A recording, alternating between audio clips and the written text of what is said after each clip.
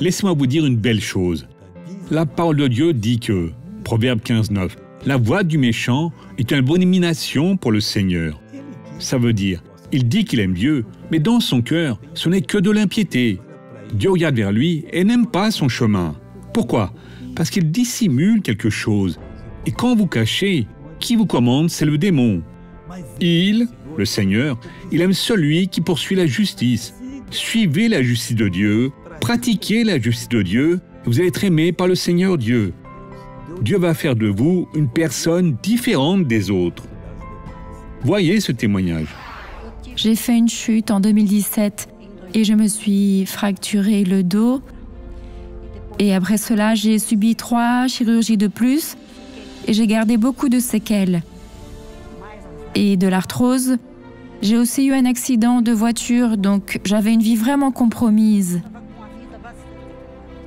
Mais ça va mieux. Oui, ça va mieux. Montrez comment vous marchiez avant, avec la canne et le reste. Montrez-nous ici, que l'on puisse voir comment c'était. C'était comme ça. Oui, c'était comme ça. À présent, marche avec elle sur l'épaule. Ma sœur, eh bien, rentrez chez vous au nom de Jésus. Gloire à Dieu. Merci Jésus. Soyez fort. Gloire à Dieu, que c'est beau.